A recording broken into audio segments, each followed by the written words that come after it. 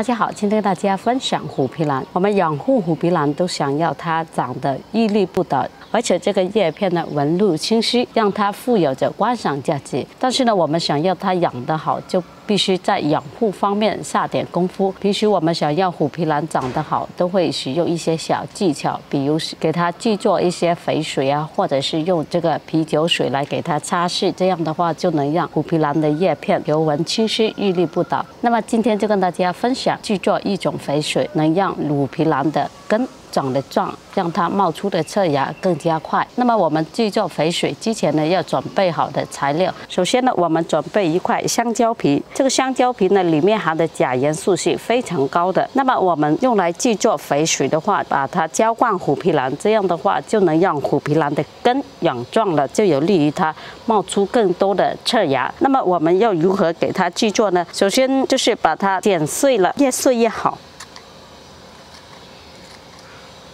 还有呢，就是准备一个矿泉水壶，装满八分水。还有呢，就是红糖。最重要的就是这个 EM 菌原露，把切碎的香蕉皮把它装到这个矿泉水壶里面去。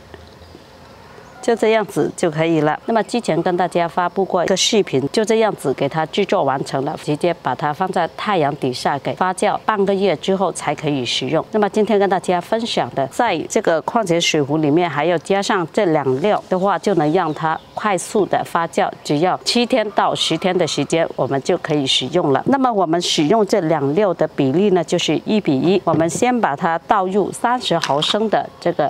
原露，这个是一个量杯，一杯就是三十毫升。那么我们就加入三勺红糖，一个光照比较充足的环境让它发酵。这个盖子呢不要拧得太紧，稍微给它漏一点气。这样的话，它在发酵过程中的时候产生一些热量，还有一些气体的时候呢，微微的冒出一些气体，就不会膨胀在里面，产生爆炸的现象。每一天都要给它扭下盖子，让它漏下去。大概发酵到什么程度才煮熟？呢，就是在我们每天给它打开盖子的时候，这个瓶子里面没有产生一些气体出来的话，就是发酵腐熟好了。所以呢，我们在这立秋的时候呢，各种花卉它生长的比较快，我们就要制作更多的肥水，能让它浇灌，在它生长期的时候，让它生长的更加旺盛。